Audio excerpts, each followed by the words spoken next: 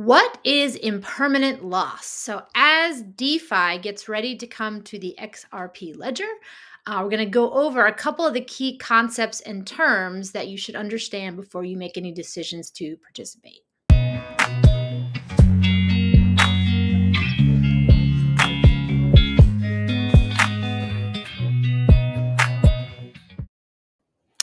Hey, welcome to the show. Molly here. It's been a while since I did a video of this nature where we're going to go over some concepts around DeFi today and specifically this idea of impermanent loss.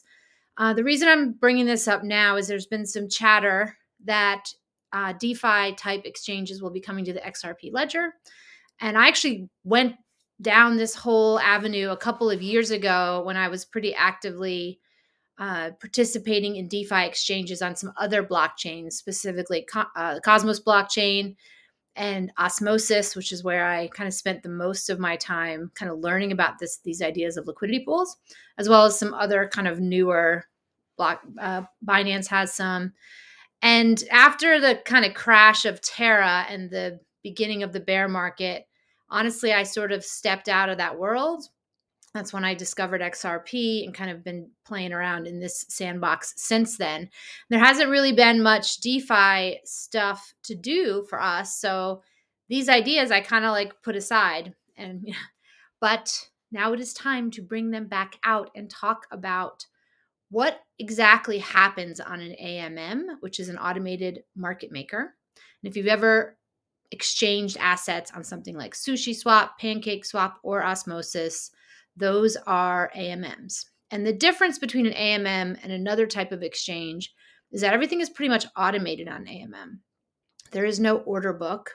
You aren't sort of seeing all of these offers that are being um, kind of matched with buyers and sellers. You, like if you ever go onto KuCoin or MEXC Global, you that is a you know an exchange where there's an order book. These are done differently. And, you know, I'm not an expert on trading by any means. I just found this technology very interesting. And it was actually a little bit of a challenge at first to kind of grasp what was going on in liquidity pools, liquidity pools, because I had never been a part of this type of world. And so, because I had to go through the process of learning it, I can now re explain it to all of you. Uh, now, I'm making some assumptions that what is going to come to the XRP ledger functions similarly to the exchanges that I use on Osmosis and Binance, for example. I don't know that for a fact. Um, I know that these concepts make a lot of sense and are likely to be applied, but you know, as these tools get rolled out in other places, I'm going to pay attention to see if anything is different. But the main idea here is that if I go to an exchange, I'm generally looking to swap one and we'll use the word coin and token interchangeably in digital asset. Like for all intents and purposes today, those are kind of functionally the same thing. I know that they have different definitions relative to being a, a blockchain native token or not. So whatever. For this purposes, we're going into the concepts around how liquidity pools work and what what happens or what are you doing or offering if you are a participant uh, by providing liquidity to one of these pools. All right, so let's say you decide to go to, or just use osmosis. You decide to go to osmosis and you want to earn some yield from your tokens. Uh, most of the pools, not all of them, but most of them are generally two assets. Some of them have three. We're just not going to go there right now. So let's just say we got two assets. One asset will be, you know, token. We'll just use Osmo, uh, the Osmo token that was on the Osmosis blockchain. You have the Osmo token, and then I have another token like Atom, which is the native Cosmo blockchain token. And because Osmo is the native token for the Osmosis blockchain, it makes a lot of sense to use that in liquidity pairs. And what I mean by that is let's say on this blockchain there was a hundred different tokens that could be exchanged. Liquidity pools have two tokens in them. And if I wanted to have the option to exchange any of those 100 tokens for the 99 that are, are not the one I'm trading, if you think about the math of combinations, that's a lot of combinations. So if these liquidity pools are set up as individual sort of entities, you would need so much money, so much liquidity to be able to have a combination of every single token pair. I mean, this is one of the cool things about ODL, uh, Ripple's product, is that there you don't have to have a pair for every single like sovereign currency to be exchanged in global trade. Everything goes through this one asset. And it works like that in a lot of DeFi exchanges. So on Osmosis, for example, if I had Atom and I wanted to have Juno, these are just random tokens. You don't need to know, be familiar with them. There would need to be that liquidity pair, but we, we don't want to have to have a combination of every single asset. So what often happens is first you swap Atom for Osmo. That becomes like the bridge asset. And then I swap Osmo for Juno. And that way the the exchange itself only needs to have a pair between every asset and Osmo. Sometimes this is done with stablecoins. We're just using Osmo as an example. So this drastically reduces the number of liquidity pairs that you need in order to have a healthy, thriving exchange. So let's say you have now when you participate in liquidity pool, you get a cut of the transaction fees, and that's kind of how you earn your yield. So let's say you decide you want to put in some Osmo and some Atom. The way that actually works is you have to have a certain ratio of those assets and the liquidity pools usually they tell you that. So let's say it's one to one for argument's sake. So i'm going to put in a hundred osmos and a hundred atoms. Usually it's one to one based on value and it's unlikely that those two assets are the same in value. So probably be, would be more likely like 300 of one and 100 of another what happens is you combine those like you deposit both of those and you get an LP token, liquidity pool token back. And this, the way I like to look at it is this represents the share of the liquidity pool that you have. So if this liquidity pool had a million dollars worth and I put in, have to do this math, man. So if I have a million dollars, say I have a hundred thousand dollars worth in the pool and I put in a thousand dollars, that's one one hundredth. So I get 1% of this pool. This is key because the thing that surprised me at first because i hadn't ever done this kind of thing before was that if i put in you know 300 tokens i assumed that when i go to take them out like i'm going to get back what i put in this is the key concept to understand and t- ties into this idea of impermanent loss. When you participate in liquidity pool you are putting value in tokens in and you're getting an ownership stake of that pool. Think of it like a percentage. So if i own 1% of that pool on you know June 3rd, when I go to pull out, let's say it's October 3rd, I'm going to get whatever 1% of that pool is. But the thing that happens is the value of assets changes. And in many cases, it can change a lot. And so the arbitrator, arb, the arbitrage, arbitrageurs, I guess that's the word, the arbitrageurs uh, help maintain these liquidity pools by buying and selling based on whether or not any of the assets of the prices go up or down in value. So what this means is that if you had these two assets, like Osmo and Atom, for example, and let's say the price of Atom goes up 5x, the ratio of the assets within this pool is going to change because one is now considerably more valuable than another. And that means that when I go to pull out my assets from the liquidity pool, I'm not going to get back what I put in initially. I'm still going to get 1% because that's what I own. But because the, the ratio of the two assets has changed because the value of one went up a lot relative to the other, uh, what I get back is that 1% is going to be different. Now, this idea of impermanent loss is important because it is one of the sort of financial risks. So if this one asset, my Atom, let's say I'm really bullish on Atom, it's like the one that I believe in, but I want to earn some yield on it because I got a whole bunch of it. So if I had a thousand Atom to my name and I put all of them in a liquidity pool and the price of Atom goes up a lot relative to the other asset in the um, pool, I'm not going to get back as much Atom as I put in. Because what happens is, is when the price of Atom goes up, the ratio gets off. So the the arbitrage, arbitrageurs and the AMM, they buy and sell to fix that ratio. And so when I pull my 1% out at the end, I'm going to get back likely fewer atoms and more osmo in this particular example. Now, the value, if if the value of Cosmo or atom went up 5x, I'm still going to make money. But this impermanent loss idea is the difference between the amount of profit I would make uh, participating in liquidity pool versus what would I have earned if I just held the assets in a wallet somewhere. And that's it's almost like an opportunity cost idea. Like how much yield could I earn or how much profit could I earn in one situation versus how much profit could I earn in another situation. So impermanent loss, the word loss is a little bit misleading because I don't want to think you it means like you're going to be in the negative. It's just the difference between what you could earn in one scenario versus what you could earn in another scenario. There are times where that difference could be substantial and it could make more sense in some cases to just hold the asset if you expect like a dramatic like bull run where things are going to go up a ton um, and it's an asset that you're really bullish on and you would not want to lose any of them there are going to be cases where holding it is is a better strategy than participating in an AMM.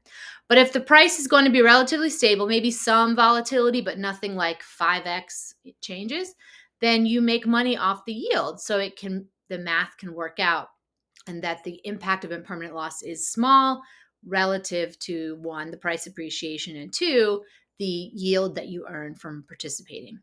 You're also participating in an ecosystem that needs liquidity. So if nobody participates, then there aren't going to be DeFi exchanges. So there is that side of it as well that if you want to help the ecosystem grow by contributing your liquidity, you help it survive and thrive. And the more participants there are in a, a DeFi exchange, the more stable it is. You don't really want, you know, one whale controlling the whole thing because if that one whale decides to leave, then it kind of ruins it for everybody else.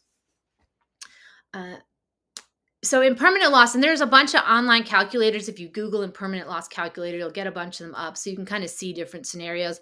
The tricky thing for me when I was doing this is like, I don't know how much it's going to go up. So you have to make this decision in advance of you know any potential price increases. So you can calculate the impermanent loss theoretically, uh, but it's not that easy to make a decision about whether to participate based on the likelihood of it going up 5x because I don't really know if it's going to go up 5x. Now, if it goes up 5x, you're still going to make money either way. You're just going to make a little bit less. But this is where you have to balance it out with how much would you have made versus in the yield versus how much would you have made um, and how much are you losing from the liquidity pool rebalancing. So it gets a little bit complicated. And I, in this sort of lesson, I'm, I'm not trying to teach you exactly how to do all of that.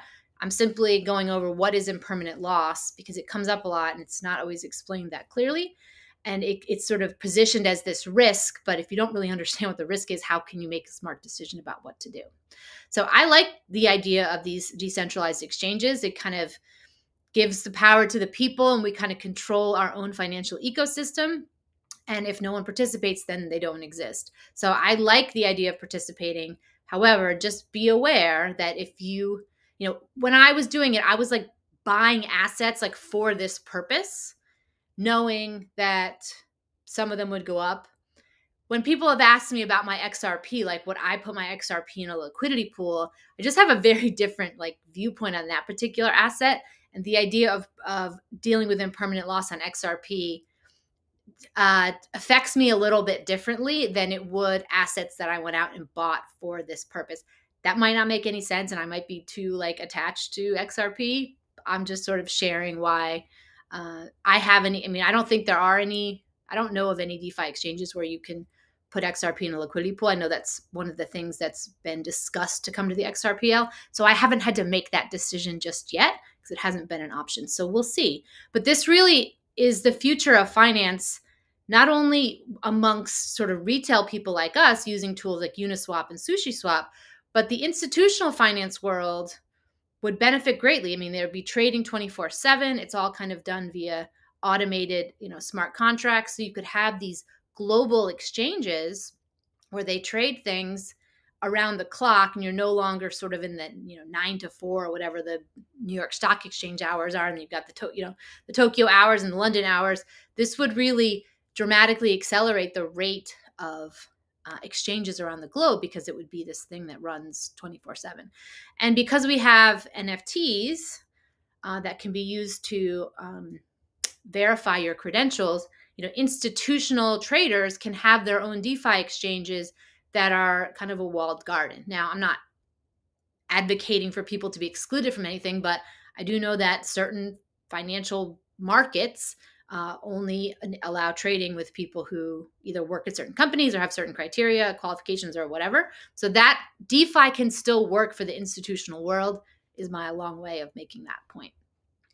But when you decide whether or not to participate in a DeFi exchange, also known as an AMM, automated market maker, it is important that you understand what are liquidity pools, what are you actually doing or agreeing to when you put your money into a liquidity pool? You are buying a share of it. And so when you pull your funds out, you're very likely not going to get back the ex- exact number of assets that you put in.